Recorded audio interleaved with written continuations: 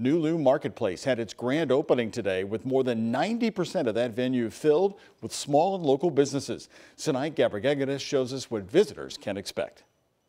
The majority of the folks are local, they are small businesses, entrepreneurs, the startups. The vision of using old buildings to bring new life to Nulu started two years ago. I think this is going to be one of the premier redevelopments in the entire country. It already is, but as people start seeing what's going on here, it's like this was a hard project. Even in a pandemic, developer Mo Den June remained persistent. Every day and every night, uh, you have got to eat and breathe here to make sure this thing happens as protesters called for racial equity in one of Louisville's most popular business community, Andre Wilson, the chair of Nulu Diversity Empowerment Council, took action. So we've been doing um, diversity trainings, talking about microaggressions, what is gentrification. Six months ago, Nulu had only one black-owned business. Today, it has four. Probably, I would say, by the time you get into the fall with our business incubator, we'll be looking at about 15 to 20. The marketplace offers food,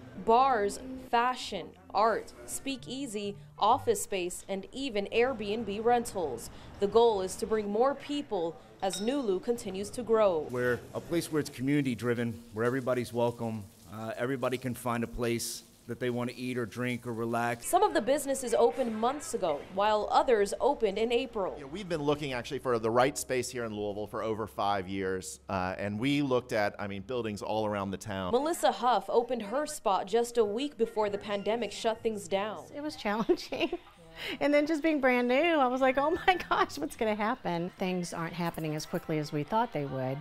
But finally, now that everything's opening up in the marketplace and things are picking up on the Main Street side, um, things are a lot better. To start bringing more foot traffic here, starting this weekend, every second Saturday of this month, Nulu Marketplace will host live music. We'll post that information on WHAS11.com. For now reporting, I'm Sanai Gabriel